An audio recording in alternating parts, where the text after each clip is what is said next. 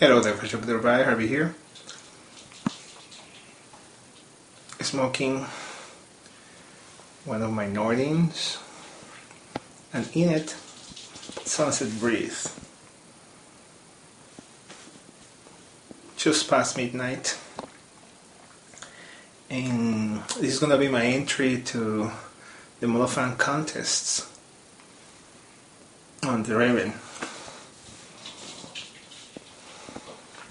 Set at the proper mood for exactly exactly what is happening now.